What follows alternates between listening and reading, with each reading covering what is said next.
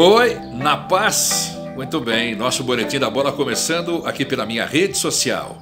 Boletim da Bola em nome da Magras, a maior rede de emagrecimento saudável da América Latina. Unidades em Sorocaba, olha que lugar legal, e também em Itapetininga. E em nome também das óticas JCS.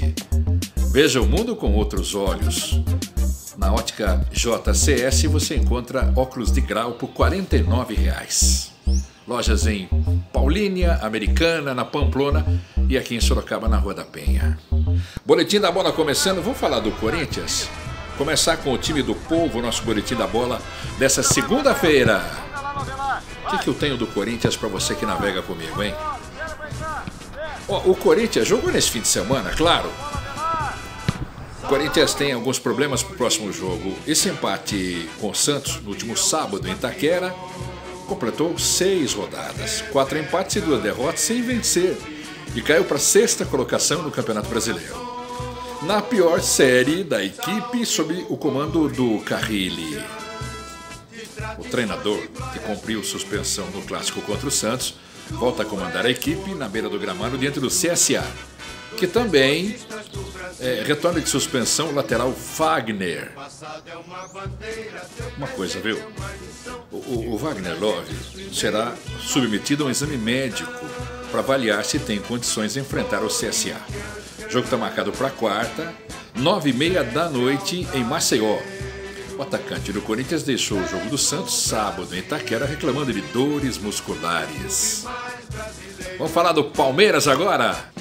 O treinador Mano Menezes deve ter o lateral direito Marcos Rocha e o atacante William à disposição para o clássico contra o São Paulo, quarta agora.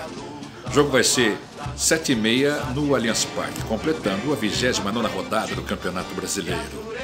Os dois jogadores se recuperam de desgastes físicos e não enfrentam o Havaí. Eles não jogaram contra o Havaí 2 a 1 conquistado no domingo em Floripa, mas treinaram durante o fim de semana na academia. No São Paulo, peça funda fundamental do time, o Thiago Volpe ainda não sabe se poderá continuar na equipe na próxima temporada. O goleiro, que está emprestado por um time mexicano, é emprestado no time mexicano, né? Ao time tricolor, afirmou que a situação entre os dois clubes segue indefinida. Após a vitória sobre o Atlético Mineiro 2 a 0 na tarde de domingo no Morumbi. O São Paulo está na quarta colocação do campeonato com 49 pontos, 5 a mais que o Grêmio. Primeiro time fora do G6. Sétimo lugar. Na quarta, o São Paulo joga no Allianz Parque em frente ao Palmeiras, sete e meia da noite, nesse campeonato nacional. No Santos, no jogo clássico que fizeram no fim de semana, pelo campeonato nacional, ficaram no empate. Apesar de ter criado alguma chance, o Santos esbarrou na falta de precisão para concluir as jogadas. Não foi capaz de balançar as redes. No Banco Santista, o Carlos Sanches era opção, mas não foi acionado. E o treinador foi questionado sobre o motivo pelo qual não utilizou o jogador no clássico. Meio de semana, 29 rodada. Tá assim, ó. Dia 30, né? 7 e meia, Atlético Mineiro e Chapecoense, Palmeiras e São Paulo. Havaí e Fortaleza. Mais tarde, 9 e meia, Ceará e Fluminense, Vasco e Grêmio.